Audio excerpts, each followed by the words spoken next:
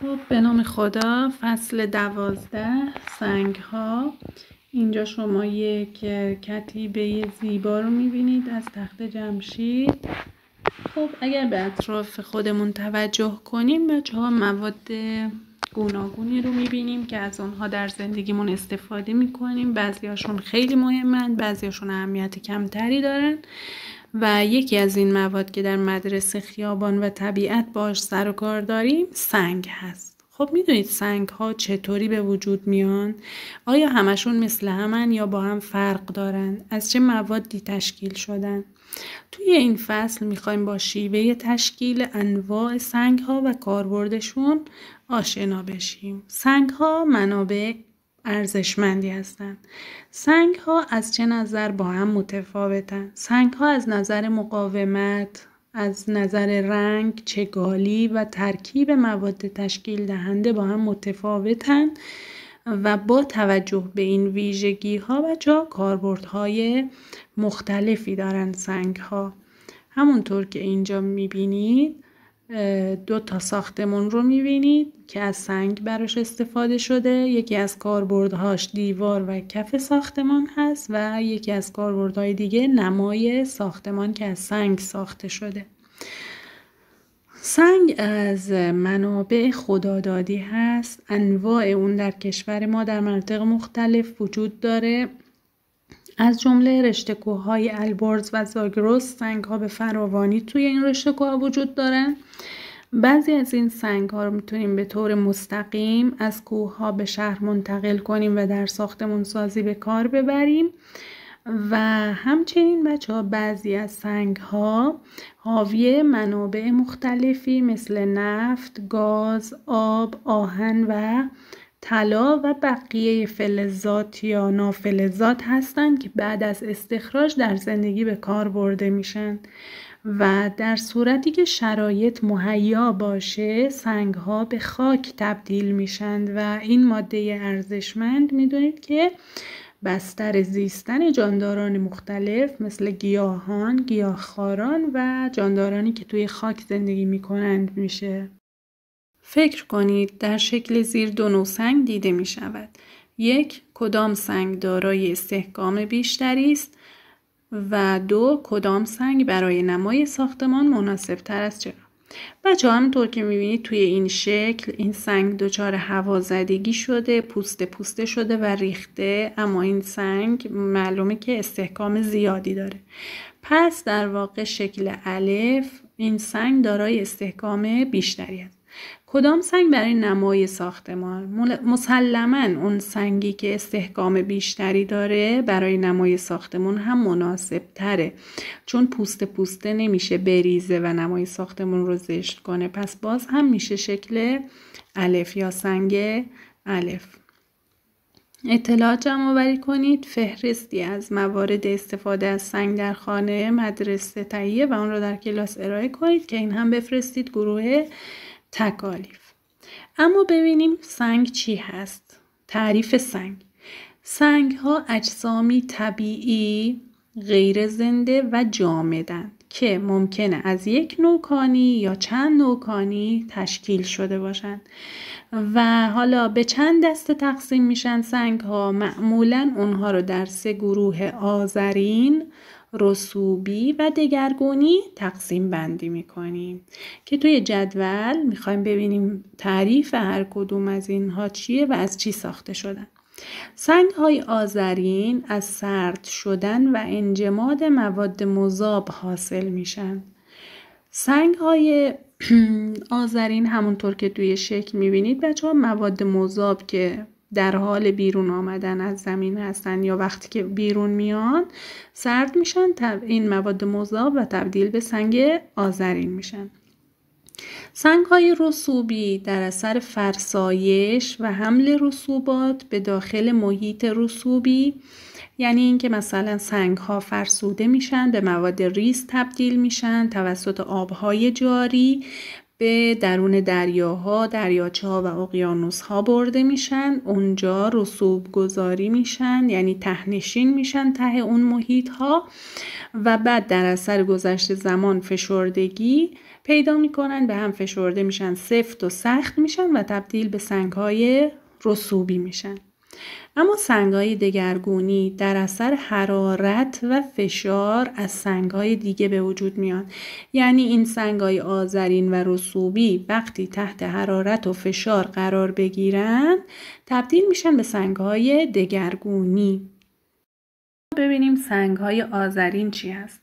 مطالعات نشون میده که هرچه از سطح زمین به سمت داخل زمین بریم دما افزایش پیدا می‌کنه. به چه صورت؟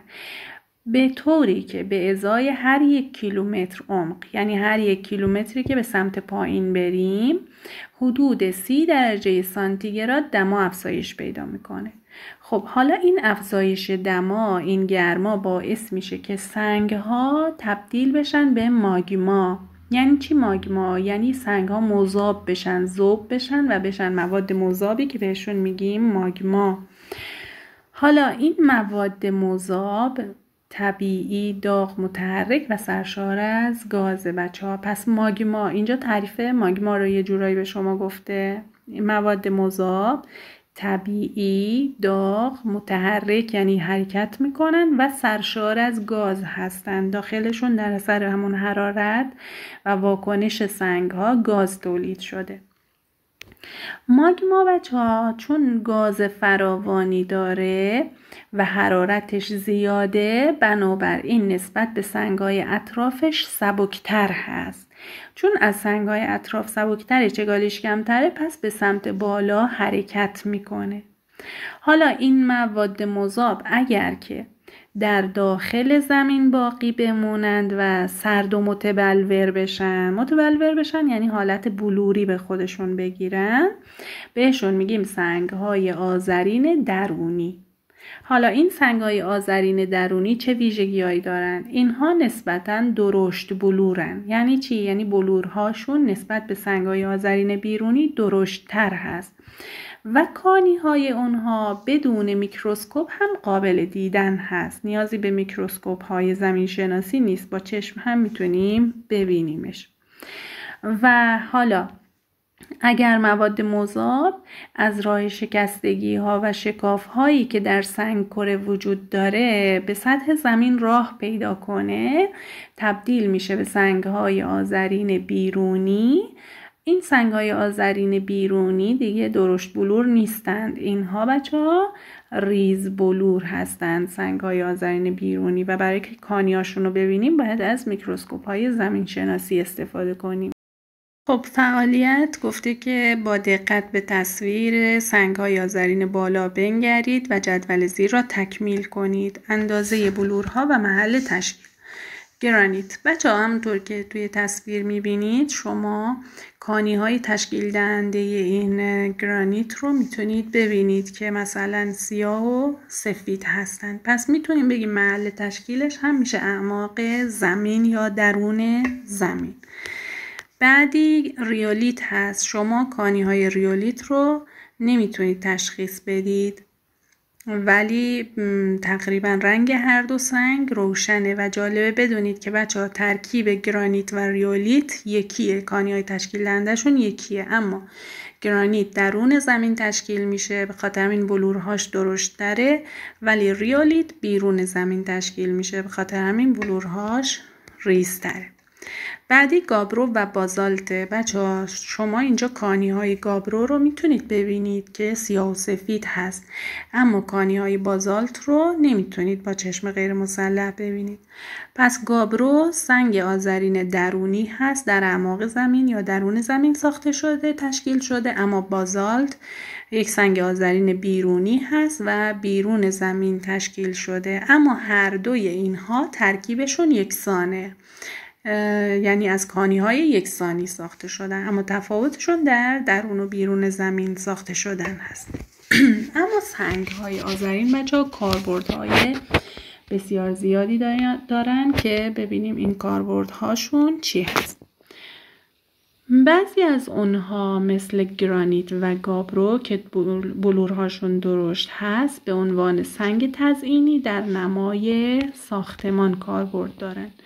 و همچنین غیر از نمای ساختمان از اونها در ساختن پله ها در کف ساختمان و در ساخت بناهای یاد بود هم استفاده میشه. حالا از خورد سنگ های آذرین در تهیه بوتون در جاده سازی در زیر سازی راه آهن و اینها استفاده میشه. سنگ گرانیت بچه ها که یک سنگ ارزشمند آذرین هست در کشور ما فراوان هست.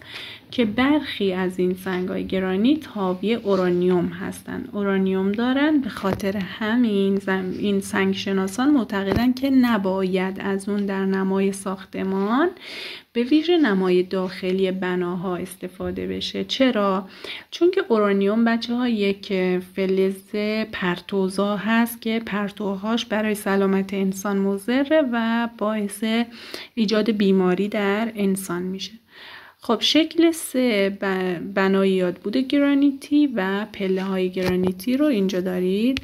می‌بینید توی شکل سه که این هم مجسمه ای هست در مشهد که مجسمه ناصر الدین شاهه. خب حالا می‌رسیم به سنگ های رسوبی. معمولا سنگ های سطح زمین بچه ها در اثر عواملی مثل آب، باد، تغییرات دما، فعالیت های جانداران و این فعالیت ها به ویژه انسان سنگ های سطح زمین چی میشن؟ متلاشی و خرد میشن و وقتی که خرد میشن به صورت ذرات و قطعات خرد شده و مواد محلول در میان. یعنی توی آب حل میشن نه همشون بعضی از موادشون توی آب حل میشه و اونها ذرات و قطعات خرد شده و مواد محلول به وسیله رودخانه ها به وسیله یخچال ها و به وسیله باد به محیط های رسوب گذاری میرن. حالا این محیط های رسوب گذاری کجاها هستن؟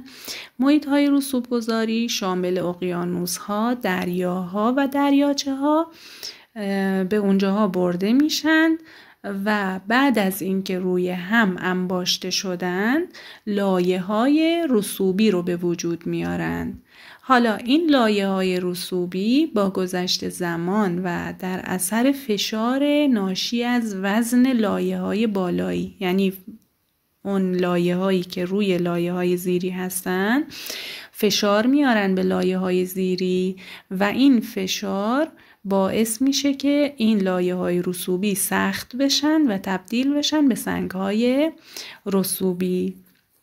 پس بچه ها توی همین متن کوتاه چندین تا نکته بود. یکیش این که سنگ های سطح زمین در اثر چه عواملی خورد میشن؟ آب با تغییرات دما و فعالیت های جانداران به ویژه انسان. دومیش این بود که عواملی که این رسوبات رو حمل می‌کنن چیا هستن بچه ها؟ رودخانه یخچال و باد. و اینکه به چه صورت وقتی که خرد میشن در میان سنگ ها به صورت ذرات و قطعات خرد شده و به صورت مواد محلول. نکته دیگه این بود که محیط هایی که رسوبات درشون رسوب گذاری میشن چیا هستند؟ اقیانوس ها، دریاها و دریاچه ها و بقیه عواملی هم که گفته شرایط تبدیل شدن اینها به سنگ هست. خب بچه ها توی شکل چهار تشکیل سنگ های رسوبی رو می‌بینید که از طریق شکل به شما نشون داده شده. همونطور که می‌بینید اینجا فرسایش و حمل مواد به وسیله آب و باد و یخ رو نشون داده و از اینجا دارن حمل میشن مواد رسوبی و اینجا در دریا رسوب گذاری میشن. و بعد اینها دفن میشن و تبدیل میشن به سنگای رسوبی. همونطور که می‌بینید این لایه های بالایی به لایه های زیری فشار میاره و اونها رو تبدیل به سنگ می‌کنه. خب گفته که به سنگ های رسوبی زیر نگاه کنید و دو مورد از ویژگی های آنها را بگویید. بچه ها همونطور که می‌بینید این سنگ های رسوبی حالت چی دارن؟ لایه لایه دارن. پس اولین ویژگی که ما توی سنگ های رسوبی می‌بینیم این هست که اونها لایه لایه هستند. و زیر شکل هم خودش گفته سنگ رسوبی لایه لایه هست. و یک ویژگی دیگه این هست که سنگ های رسوبی حاوی فسیل هستند بچه ها سنگ های رسوبی فسیل دارن. پس دو تا از ویژگی های سنگ های رسوبی یکیش اینه که لایه لایه هستن و یکی دیگهش اینه که فسیل دار هستن. حالا سنگ های رسوبی بچه ها به روش های مختلفی تشکیل میشن. شما توی سال گذشته توی سال هفتم خوندید که در سماور مواد آهکی داخل آب بعد از مدتی رسوب آهکی توی سماور تشکیل می‌دادند که یعنی آب بخار می‌شد و آهکی که اضافه بود اضافه بر حل شدن توی آب بود تهنشین می‌شد و می‌شد مثلا رسوب آهکی ته سماور. حالا گروهی از سنگ های رسوبی هم بچه ها در اثر واکنش های شیمیایی به وجود میان. شما توی فصل اولی خوندید که یکی از نشانه های واکنش شیمیایی تشکیل رسوب هست. پس در اثر واکنش های شیمیایی که رسوب تشکیل میدن هم ممکن سنگ های رسوبی تشکیل بشن. حالا مثل چی؟ مثل قندیل های داخل غارهای آهکی. اینها در اثر واکنش های شیمیایی تشکیل میشن. یا سنگ تراورتن. سنگ تراورتن کجاها تشکیل میشه بچه ها در دهانه چشمه های آهکی. پس قندیل های داخل قاره آهکی و سنگ تراورتن نتیجه واکنش های شیمیایی هستند. خب بعضی از سنگ های رسوبی هم در دریاچه های گرم و کم عمق به وجود میان. به خاطر چی؟ در اثر تبخیر آب دریاچه. یعنی آب دریاچه که بخار میشه مواد محلول اضافیش تهنشین میشه و تبدیل میشه به سنگ رسوبی. به این نوع سنگ ها که در اثر تبخیر آب به وجود میاد میگیم سنگ رسوبی تبخیری. و دو نوع سنگ رسوبی تبخیری که اول فصل خوندید چیا بودن بچه ها؟ سنگ گچ و سنگ نمک خب شما توی شکل شکل شیش الف قندیل های غار کتل خور استان زنجان رو می‌بینید که در اثر واکنش های شیمیایی ایجاد میشن و به دریاچه کم عمق حوز سلطان رو می‌بینید که در سنگ های نمکی تشکیل میشه و سنگ تبخیری هست. حالا برخی از این سنگ های رسوبی بچه ها حاصل اجتماع بقایای جانداران در حوزه های رسوبی هست. یعنی جاندارانی که دارای قسمت های سخت روی بدنشون هستن مثل صدف ها، اسفنج ها، مرجان ها اینها اجسادشون بچه ها روی هم انباشته میشه سفت و سخت میشه و تبدیل میشه به سنگ رسوبی. حالا یه نوع سنگ گیاهیش بچه ها زغال سنگ هست. زغال سنگ هم به همین صورت تشکیل میشه. یعنی حاصل اجتماع بقایای جانداران هست که چوب هایی که توی جنگل ها هستن و زیر رسوبات دفن میشن تبدیل میشن به زغال سنگ. برخی از مواد فرسایش یافته ای که با آب رودخونه جابجا میشن هم در محل هایی که شرایط رسوب گذاری آماده باشه تهنشین میشن بعد از مدت نسبتا طولانی سنگ های رسوبی آواری رو به وجود میارن. پس اون چیزی که ما معمولا توی ذهنمون از سنگ رسوبی که یعنی مثلا مواد خرد شده سنگ ها رو هم انباشته میشن و میشن سنگ رسوبی در واقع سنگ رسوبی آواری هست اسمش. خب ما دو نوع سنگ رسوبی آواری اینجا می‌بینیم. یکیش سنگ کنگلومرا هست. اینو بهش میگیم سنگ کنگلومرا که ذراتش درشته. و یه نوعش ماس سنگ هست که ذراتش ریز هست. اینا سنگ های رسوبی آواری هستن. فکر کنید با توجه به شکل بالا تفاوت و تشابه دو سنگ کنگلومرا و ماس سنگ را بگویید. خب بچه های تفاوت مشخصش که گفتیم کنگلومرا ذراتش درشت بود اما ماس سنگ ذراتش ریز هست. و شباهتش هم اینه که هر دوتاشون حاصل اجتماع در واقع به سفت شدن و سخت شدن مواد رسوبی تخریبی سنگ ها هستند. حالا ببینیم که سنگ های رسوبی توی زندگی ما چه اهمیتی دارند. همونطور که کتاب گفته اهمیت فراوانی دارند یکی از اهمیتهاش این هست که ذخایر نفت، ذخایر گاز و ذخایر زغال سنگ توی سنگ های رسوبی تشکیل میشه و ما از سنگ های آهکی و سنگ های تراورتن در ساختمان سازی استفاده می کنیم. استفاده های دیگه ما از ماس سنگ در پلسازی و جاده سازی استفاده می کنیم و برای تهیه گچ و سیمان بنایی هم باز ما از سنگ های رسوبی استفاده می کنیم و از فسیل هایی که توی سنگ های رسوبی پیدا میشه در بازسازی گذشته زمین استفاده می کنیم یعنی می‌خوایم ببینیم در گذشته زمین چه اتفاقاتی افتاده چه جاندارانی چه گیاهانی زندگی می‌کردن. از فسیل ها استفاده می کنیم و برخی از عناصر فلزی مثل آلمینیوم مثل آهن اینها هم از سنگ های رسوبی استخراج میشن. پس این هم اهمیت سنگ های رسوبی در زندگی ما. اما یه نوع سنگ دیگه سنگ های آذرین رو گفتیم رسوبی رو هم گفتیم. یه نوع سنگ دیگه سنگ های دگرگونی هستن بچه ها حالا یک مثال زده کتاب براتون که شما بیشتر با سنگ دگرگونی آشنا بشید. گفته برای تهیه آجر بنایی مراحل زیر طی میشه. ابتدا خاک رس رو با آب مخلوط می‌کنن و گل رس می‌سازن. بعد گل رس رو در قالب های مخصوص آجر میریزن و می‌ذارن تا خشک بشه. و وقتی که خشک میشه میشه خشت خام تبدیل میشه به خشت خام. بعد خشت خام رو در کوره قرار میدن و حدود ده روز حرارتش میدن. تا تبدیل بشه به آجر دیگه میپزه و تبدیل میشه به آجر. حالا گفته که اگر خشت خام و آجر رو در آب بیاندازیم چه تغییری در آنها روی می‌دهد؟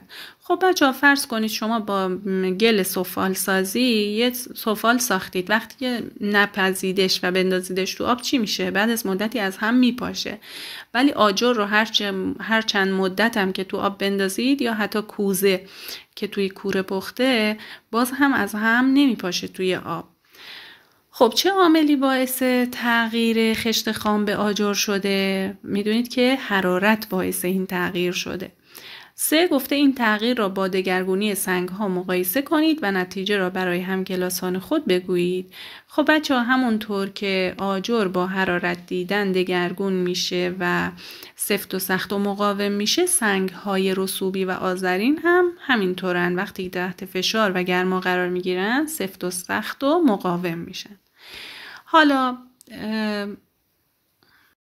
گفتیم فرایند دگرگونی سنگ ها شبیه فرایند تهیه آجر هست و تفاوتش این هست که علاوه بر حرارت ممکن سنگ ها تحت عامل فشار و محلول های داغ هم قرار بگیرند پس فشار و محلول های داغ هم ممکنه در دگرگونی سنگ ها دخالت داشته باشه. بنابراین سنگ های دگرگونی رو می‌خوایم تعریفش کنیم. سنگ های دگرگونی گروهی از سنگ ها هستند که طی مدت نسبتاً طولانی تحت تاثیر چه عواملی قرار می گیرند؟ تحت تاثیر گرما، فشار و محلول های داغ درون زمین تشکیل میشن. حالا توی فرایند دگرگونی گرما به حدی نیست که سنگ ها رو چیکار کنه زوب کنه چون اگر سنگ ها زوب بشن و دوباره سفت بشن که میشن سنگ آذرین اما همونطور که خشت خام در حالت جامد به آجر تبدیل میشه در اثر حرارت سنگ های اولیه هم تحت تاثیر همین عوامل یعنی چی؟ گرما فشار و محلول های داغ اینها تبدیل میشن به سنگ های دگرگونی. حالا یک مثال از سنگ دگرگونی چی هست؟ تبدیل سنگ آهک که یک سنگ رسوبیه به سنگ مرمر. پس سنگ مرمر در واقع یک سنگ دگرگونی هست. خب ببینید چقدر ظاهرش زیبا و جالب شده. سنگ آهک رو شما در شکل سمت راست می‌بینید که در اثر دگرگونی تبدیل میشه به سنگ مرمر که بسیار زیبا و شکیل و مقاوم هست. اطلاعات جمع آوری کنید درباره میزان استحکام سنگ های دگرگونی. اطلاعات جمع آوری کنید و به پرسش های زیر پاسخ دهید. این هم تکلیفتون هست. بفرستید گروه تکالیف. استحکام سنگهای رسوبی بیشتر است یا سنگهای دگرگونی که مسلما دگرگونی هست؟ چه عواملی باعث استحکام سنگهای دگرگونی می شود که این تکلیفتون انشالله انجام بدید؟ حالا ببینیم کاربرد سنگهای رسوبی در زندگی ما چی هست.